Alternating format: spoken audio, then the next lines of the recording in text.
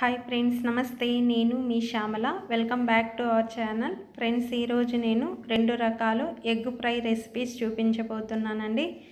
Video నచ్చినట్లయితే please like చేయండి friends ఇప్పుడు ఎలా చేయాలో చూసేద్దాం. ఫస్ట్ మనం వెల్లుల్లి కారపొడి రెడీ చేసుకోవాలి.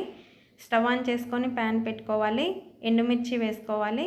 కొంచెం ఆయిల్ వేసుకోవాలి. ఎండుమిర్చిని బాగా వేయించుకోవాలి. ఎండుమిర్చి వేగిపోయాయండి. ఇప్పుడు స్టవ్ ఆఫ్ చేసుకొని ప్లేట్లోకి తీసుకోవాలి. ఇప్పుడు ఒక మిక్సీ జార్ తీసుకొని అందులో వేయించి పెట్టుకున్న ఎండుమిర్చి వేసుకోవాలి. సరిపడినంత కల్లుప్పు వేసుకోవాలి. వెల్లుల్లి రెబ్బలు వేసుకోవాలి. మెత్తని పౌడర్ లాగా గ్రైండ్ చేసుకోవాలి. చూడండి వెల్లుల్లి కారపొడి రెడీ అయిపోయిందండి. ఇప్పుడు ఎగ్ని ఫ్రై చేసుకుందాము. స్టవ్ ఆన్ చేసుకొని ప్యాన్ పెట్టుకోవాలి. టూ స్పూన్స్ ఆయిల్ వేసుకోవాలి.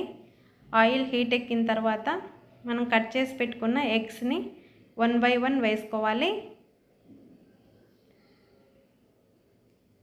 అన్ని ఎగ్స్ని ఇలా పెట్టుకున్న తర్వాత కొంచెం సేపు వేయించుకోవాలి.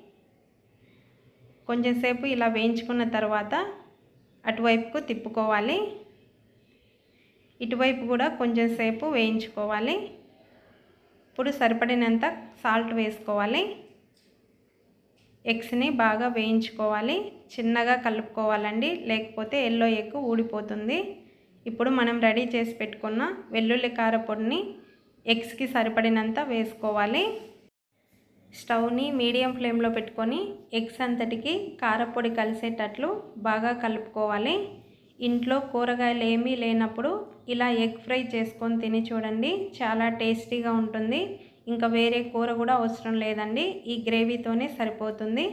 రెడీ అయిపోయిందండి. ఎగ్ ఫ్రై ఇప్పుడు స్టవ్ ఆఫ్ చేసుకోవాలి. First type egg fry ready అయిపోయిందండి. ఇప్పుడు సెకండ్ టైప్ ఎలా చేయాలో చూసేద్దాం. స్టవ్ ఆన్ చేసుకొని ప్యాన్ పెట్టుకోవాలి. ప్యాన్ హీట్ ఎక్కిన తర్వాత టూ స్పూన్స్ ఆయిల్ వేసుకోవాలి. ఆయిల్ హీట్ ఎక్కిన తర్వాత మనం కట్ చేసి పెట్టుకున్న ఎగ్స్ని వేసుకోవాలి.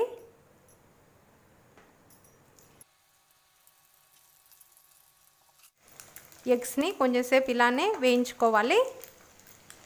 ఎగ్స్ అన్నింటిని ఒకసారి తిప్పుకోవాలి.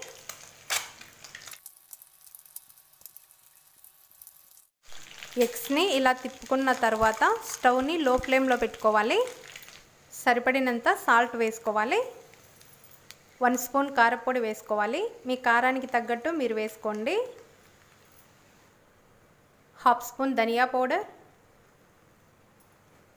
half spoon garam masala మసాలాలన్నీ ఎగ్స్కి పట్టేటట్లు బాగా కలుపుకోవాలి.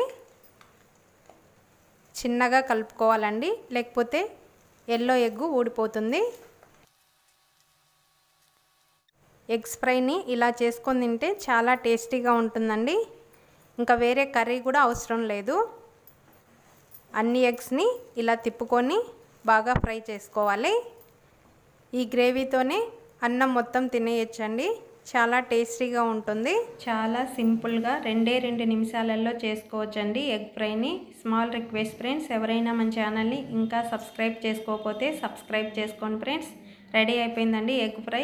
ఇప్పుడు స్టవ్ ఆఫ్ చేసుకోవాలి. మీరు ట్రై చేసి చూడండి ఫ్రెండ్స్. ఈ వీడియో కనుక మీకు నచ్చినట్లయితే like share comment subscribe. Bye friends. Next వీడియోలో కలుద్దాం.